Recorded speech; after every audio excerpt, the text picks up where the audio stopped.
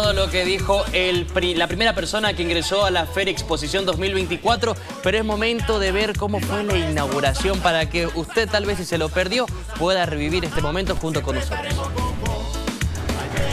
De esta manera se inaugura oficialmente Expo Cruz 2024.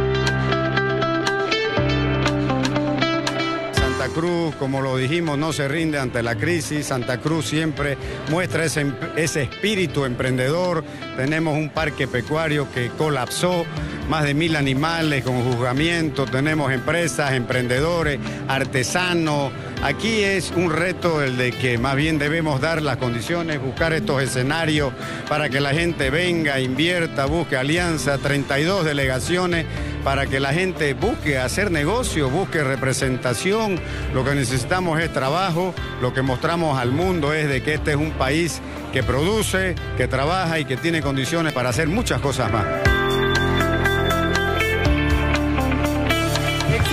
Mucho optimismo, 32 países, más de 2.000 marcas. Estas cifras, arrancando la Feria Cruz, son positivas. Sí, es mucha dosis tener más de 30 países en Expo Cruz es mucha cosa llegar a un predio, poder conectar con más de 30 países que traen todo tipo de industrias, que traen tecnología y que abren puentes de Bolivia al mundo y, queremos hacer a través de ustedes el llamado para que las familias lo aprovechen.